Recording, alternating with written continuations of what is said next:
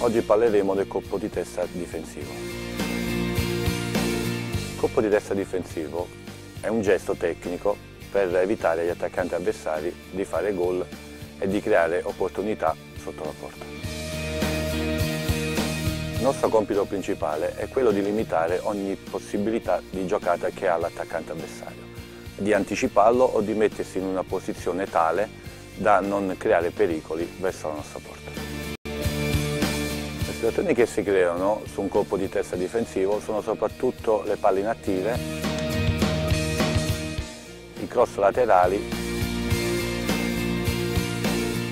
e i lanci in profondità per gli attaccanti.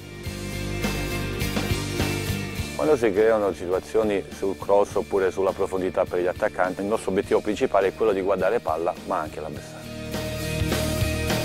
Un altro aspetto che per noi difensori è molto importante è quella della posizione.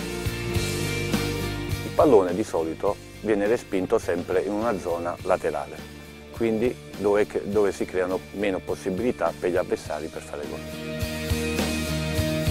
Quando arriva un cross è preferibile colpirla soprattutto con la fronte, ma anche utilizzare qualsiasi parte della testa perché dipende dalla posizione in cui ti trovi. Consiglio che voglio dare a voi ragazzi è che per fare difensore, soprattutto quando si va a colpire la palla di testa, è di essere molto determinati.